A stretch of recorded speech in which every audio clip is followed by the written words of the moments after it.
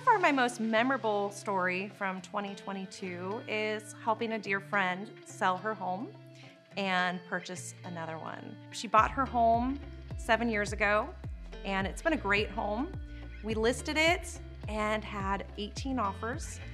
Uh, she got $80,000 over the list price, and now we are in escrow on her new home. We beat out several buyers. We were in a multiple counteroffer situation, and fortunately, her offer was selected above the others. So in two weeks, she's gonna get to move into her new home. That's my job, and I'm so excited that I get to do that for my friends and family. And that is my favorite 2022 memory as of yet.